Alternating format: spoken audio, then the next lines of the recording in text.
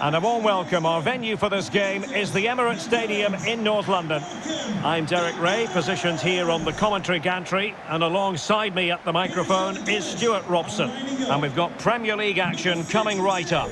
It's Arsenal up against Aston Villa. Here are the starters for Arsenal. Aaron Ramsdale is the goalkeeper. Granit Xhaka plays alongside Martin Odegaard in central midfield. And the main forward is Gabriel Jesus.